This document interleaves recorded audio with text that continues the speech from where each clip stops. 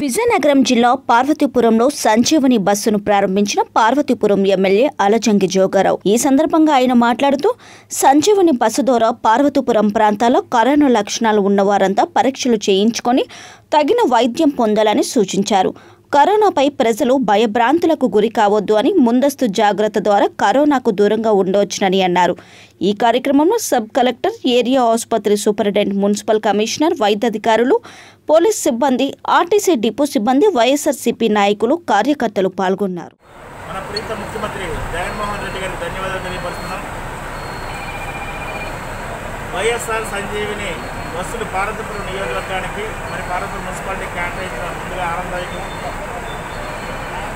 ప్రజా ఆరోగ్యం పట్ల మన ప్రీత ముఖ్యమంత్రి గారికి ఎటువంటి చిత్తశుద్ధి ఉందో ఎందుకంటే నిదర్శనకేం లేదు. ప్రజలు బాగుండాలనే కోరికతో పదహారు వేల కోట్ల రూపాయలతో ఈరోజు ప్రజా ఆరోగ్యం పట్ల చిత్తశుద్ధితో ఆయన పనిచేసిన విధానాన్ని మనం మెచ్చుకోక తప్పదు ప్రపంచంలో ఉన్న అన్ని దేశ అన్ని రాష్ట్రాలలో దేశాలలో కూడా మన ఆంధ్రలో వైపు చూస్తున్నారంటే జగన్మోహన్ రెడ్డి గారు కోవిడ్పై స్పందించిన తీరునే అందరూ ప్రశంసిస్తున్నారు. ఎందుకంటే ఈ విజయనగరం జిల్లాలో పదకొండు సిహెచ్సిలు అలాగే పన్నెండేమో ప్రైవేట్ హాస్పిటల్లో కోవిడ్ హాస్పిటల్స్ మనకి ఉపయోగించి మన అందరికీ కూడా గా- మంచి ఆరోగ్యం కనిపించాలని ఆలోచనతో జగన్మోహన్ రెడ్డి గారు ఉన్నారు.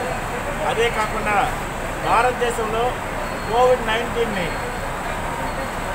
ఆరోగ్యశ్రీలో కేట దీంట్లో కేటాయించిన ఏదైనా రాష్ట్ర ప్రభుత్వం అంటే ఒక ఆంధ్రప్రదేశ్ అని చెప్పేసి దీని ద్వారా రాష్ట్ర ప్రధానికి తెలియపరుస్తున్నాం. జగన్మోహన్ రెడ్డి గారు విద్య పట్ల ఆరోగ్యం పట్ల ఎటువంటి చర్చిస్తూ ఉన్నారో ఇంతకంటే నిదర్శనం లేదు